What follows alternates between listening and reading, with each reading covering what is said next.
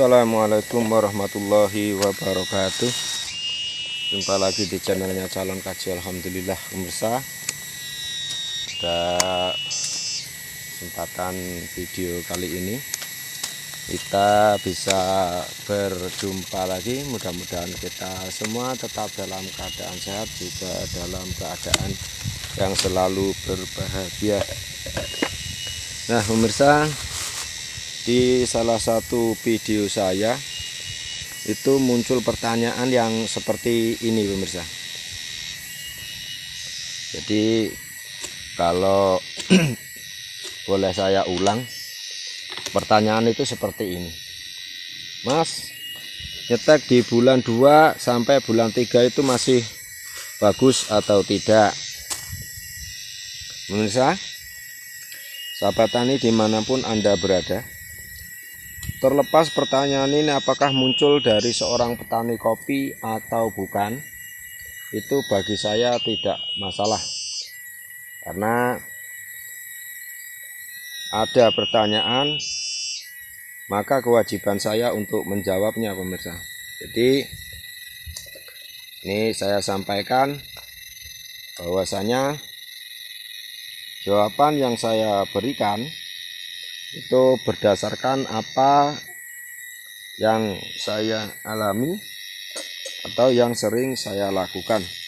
Nah, mengenai pertanyaan tadi pemirsa, apakah penyetekan yang dilakukan di bulan 2 dan di bulan 3 itu masih bagus?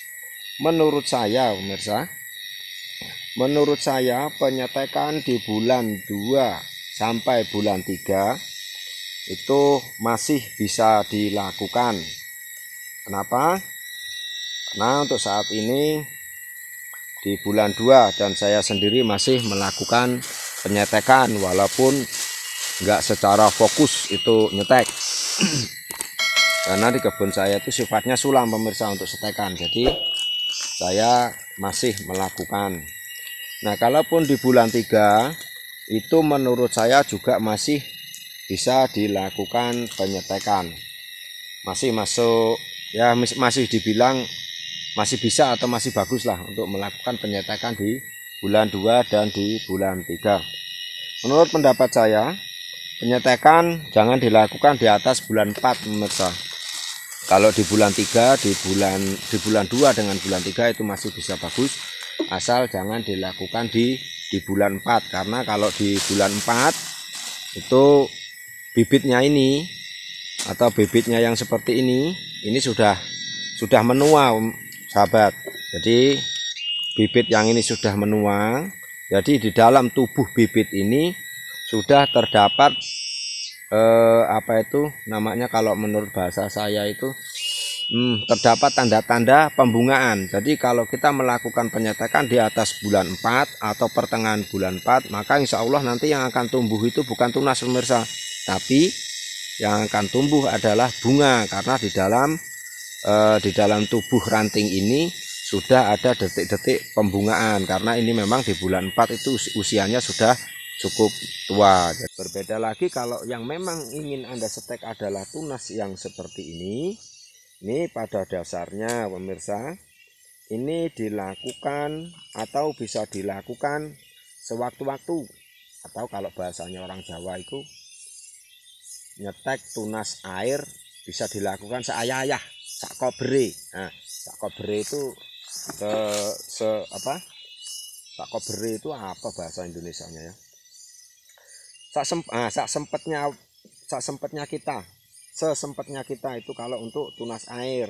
Cuma pemirsa walaupun tunas air ini bisa dilakukan penyetekan sewaktu-waktu kita sempat cuma ada beberapa kelemahannya. Salah satunya begini pemirsa.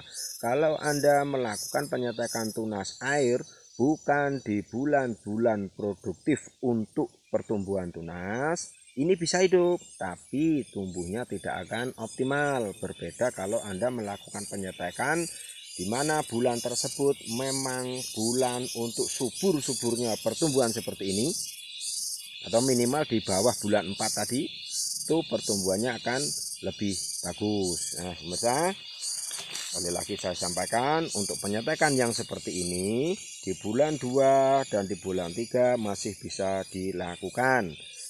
Untuk bibit yang seperti ini pada dasarnya dilakukan setiap bulan itu bisa asalkan memang tunasnya ada dan bibit bawahnya juga ada.